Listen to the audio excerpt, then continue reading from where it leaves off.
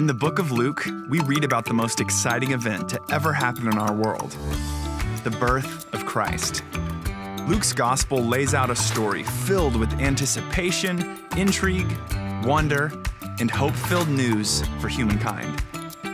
It was the day when God's great plan of salvation and redemption was irrevocably launched. And as we look to the cast of characters God gathered together, our eyes are open to a new response, focus, and growth in the Christmas season. As we look back in awe and wonder, for unto us a child is born.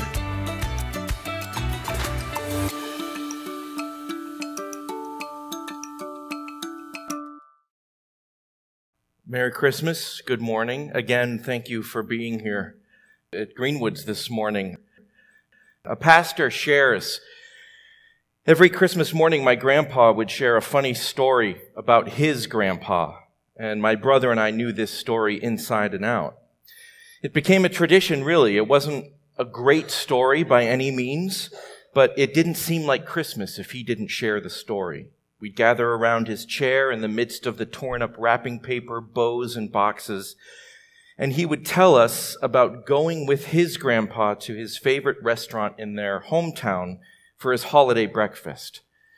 He'd say, Grandpa would always have eggs Benedict. Just before they would bring out his order, Grandpa would make a special request. He'd hand over the hubcap from his old Studebaker and say, Would you mind serving my breakfast to me on this? The waitress always complied, interestingly, but one year she said, I just have to ask, why do you have me serve you eggs Benedict on this hubcap every Christmas? Well, Grandpa said, there's no plate like chrome for the hollandaise. Jeez. Ah, nothing like corny Christmas traditions, right? In honor of Christmas traditions in my house, we get to open up our stockings before church. So I'd just like to share some of the things. We, we gift each other sort of silly, fun things. Uh, like bacon, beef jerky goes with everything. So I'm very happy about this. Uh, too blessed to be stressed. A little sticker for my desk, probably. We'll see if this works.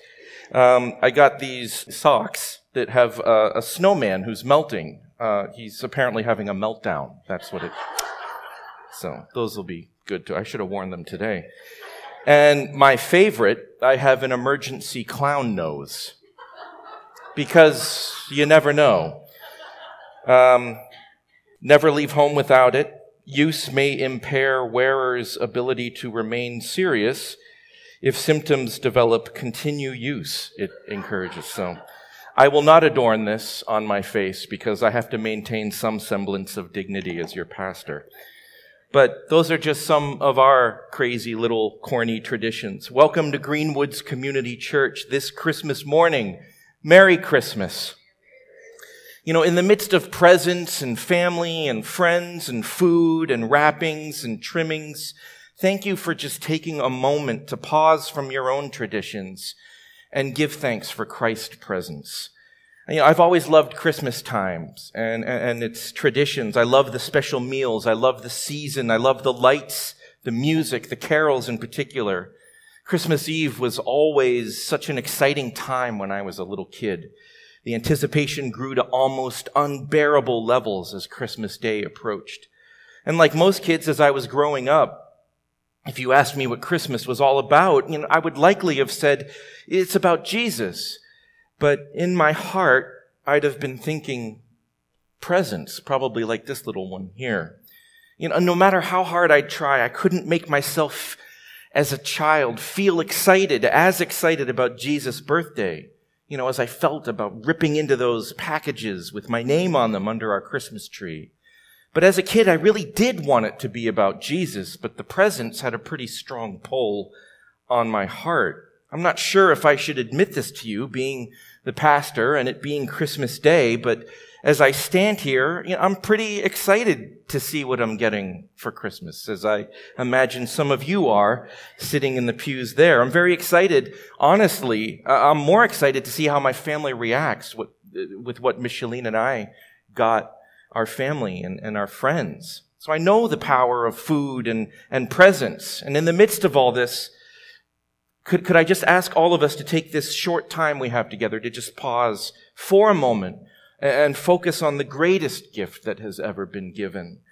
Uh, Luke 2, 6 to 7 presents this gift to us. While they were there, the time came for the baby to be born, we read. And she gave birth to her firstborn son. She wrapped him in cloths and placed him in a manger because there was no guest room available for them. Jesus' arrival into our world says so much, so much about who he is and how he operates in our lives. The gift first presented himself in a, in a way similar to the way he presents himself even to you right now, today. Quiet humility, boundless love. His parents had left their hometown of Nazareth to be registered for the census, and they couldn't find a place to stay. And it's a remarkable event every time you encounter it and read it. If you consider who Jesus is, because he is indeed the Almighty One. Yes, the Alpha, the Omega. John chapter 1 verse 3 says, through him all things were made. I mean, he has the ability to calm storms and still the waters, to peel back the heavens, to stop time, to thunder to the ends of the earth, yet there was no room for him when he arrived on earth. And then if you consider the way he was received, or really more accurately, ignored by most, it speaks to so, so much about how we can respond to him, even at this moment, even now. The manner of his arrival reminds us that Jesus doesn't force himself upon us.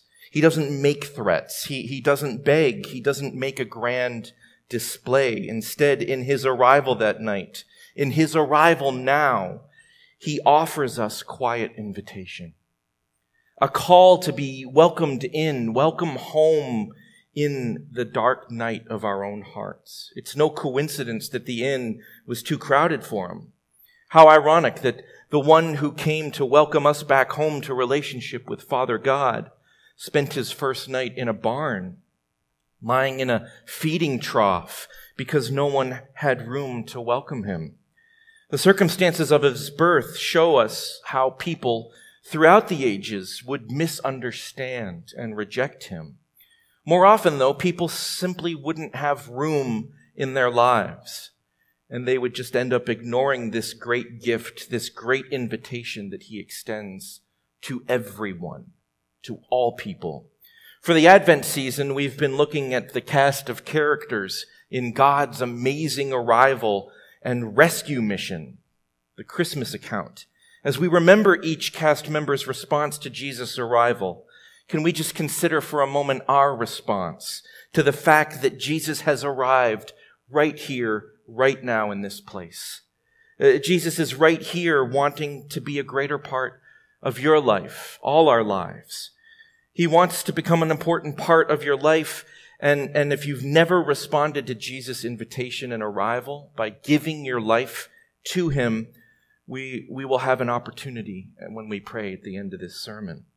Uh, perhaps you can already sense him knocking at your door, at your heart's door. The prophets, the angels, the shepherds, and the magi all had an important part to play in his wonderful arrival. They all responded to Jesus in a unique and wonderful way. Let's just consider their responses briefly as we think about Jesus this Christmas day. Uh, this is the holiday we, re- we remember that God took a huge step toward us. You know, we were in trouble. And, and although we were created to be with Him, our hearts turned far from Him. And there was a barrier between us and our Creator that had to be dealt with. If a couple thousand years of Jewish history teaches us anything, it's that the answer wasn't going to be found in any human effort, our own efforts. The resolve to try harder, God took a big step toward us by coming to live with us. Why? To show us the way and to remove that barrier through his death on the cross. It's not about being good. It's not about trying harder and earning God's favor. It's just about being near to God through Jesus. Simple. Emmanuel, God with us. Even his name paves the way for nearness to God. I know that some of us are here right now because it's expected or even required, right? Grandma said that everyone has to go to church, so here we are. If that's where you find yourself, that you'd rather just be done with all this religious stuff so we can get to get home and get on to the good stuff, I want you to know that I get it and, and I'm really grateful and honored that you're here. And I know as a group, we Christians have given the world pretty much few good reasons to consider shutting out the Christmas story. I mean, this simple story of Christmas isn't about church or even about religion. It's about relationship. It's about love, life, freedom. And if you have questions or you're struggling with who Jesus is, just try to look beyond all that you've heard about Jesus for a moment. All the things that you've seen people do in the name of Jesus, good, bad, and even ugly. And try to find for yourself who Jesus is. Before you completely close the door to Jesus, just open up the Bible. Open up your Bible to the Gospel of Matthew. Read it straight through to the end of John's Gospel. Those Gospels, those accounts about Jesus' life. And all four Gospels are really just a little more than a hundred pages. They can be read in a sitting. Do that first, please. Don't shut the door on Jesus until you've taken a look for yourself at who he really is and what his birth really means, which then leads to other questions about who God is and what God wants and what your life, what your life could mean through his eyes and ultimately what eternity holds for you. Because friends, that's what Christmas really means for all of us. Uh, God had been talking about his arrival in the person of Jesus Christ for thousands of years before this wondrous event ever took place. Isn't it amazing to think that specific words and, and, and details were written about Jesus' birth and death and resurrection hundreds, even thousands of years before that these amazing events occurred. I mean, through the wisdom of the Holy Spirit, the prophets knew that we needed a Savior. And they spoke of His coming, and we can respond to Jesus by responding to Him and welcoming Him in our lives. By eagerly and earnestly looking for and, and preparing Him in everything we do. That's what Advent is all about. Or what about the shepherds? You know, they saw the angels appear right before them. I mean, could you imagine a great heavenly choir splitting that night sky with light and music and hope? How would you have responded to that? W- would you wonder what everyone else is pointing and staring at? Or do you feel like you're missing something? Uh, like you don't have the inside track or inside knowledge about what's going on? I mean, I've been there. Uh, but friends, there is no special knowledge. The arrival of Jesus is personal to each and every one of us.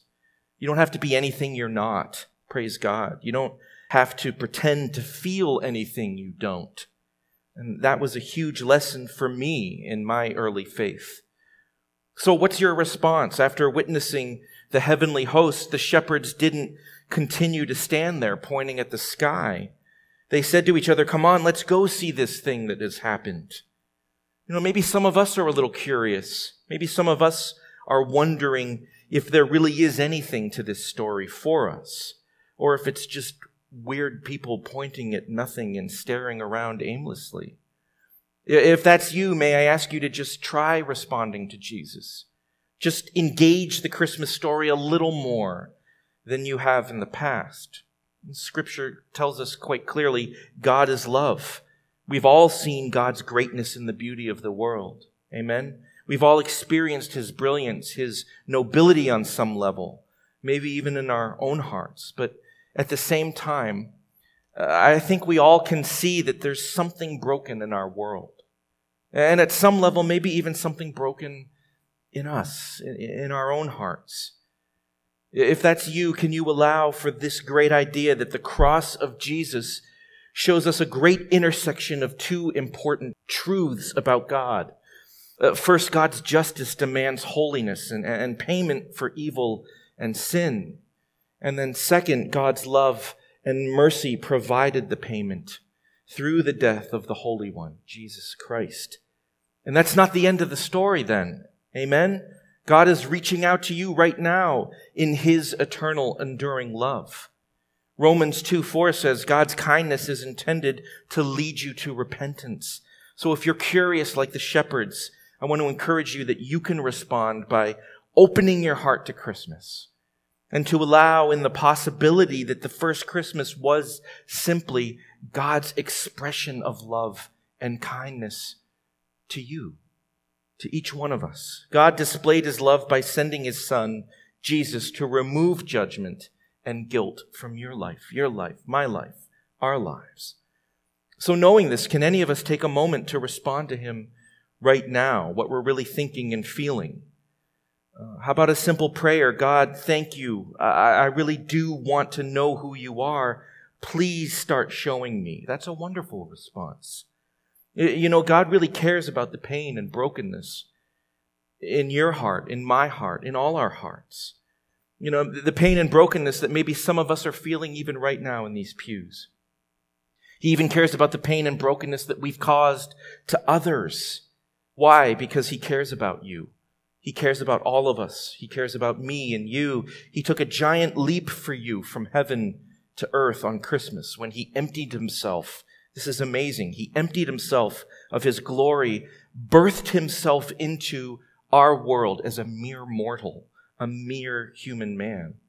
And what does he want in response? All he wants is for you to take a step towards that invitation. Some of us here this morning are like the Magi who, who were waiting and watching for God to move on their behalf. When they finally saw that star, that sign, they immediately traveled hundreds of miles from the east and said, Where is the one who has been born King of the Jews? We saw his star when it rose and we've come to worship him. So like the Magi, some of us are waiting expectantly for God to move in our lives. I've been there with great faith, maybe we've come here this morning just like those magi, ready to worship him.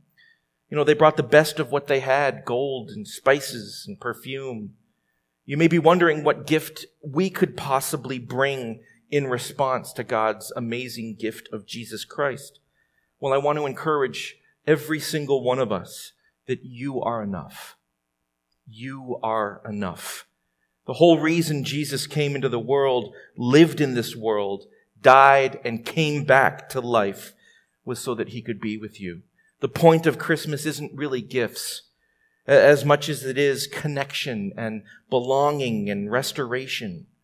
What can you give God? Well, God is pleased to just have your heart and your affection, and he longs to build a relationship with you.